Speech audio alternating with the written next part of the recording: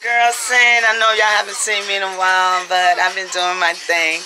I've been practicing and wearing lashes. Y'all know I'm not like makeup type of person, but I've been practicing these lashes and yeah, it takes uh, quite a few practices. If y'all like it, just let me know how I look. Anyway, I look good without them anyway. I know I ain't conceited, but don't hate. And then I also discovered this right here, guys. Really cool. It's like some clip-on hair, and I did it myself. Yes yeah, I done saved me um, $40. But I'm still going to my $40 wheel shop. But I was just like, wow, this is so cool. You can do it yourself. If you're having a bad hair day, it's not a wig. It's actually lighter than a wig because it comes in tracks. And, you know, you can just add on what you want to add on. Don't that look cute, guys? I'll show you the back.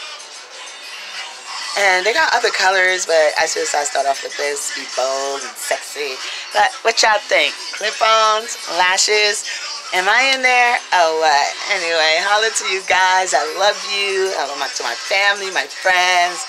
And if you click on the video, you are still thinking about me. And if you don't, still haters. I love saying that just because as soon as my video pop up,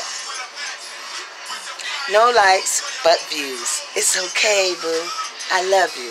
And you know what? Communion.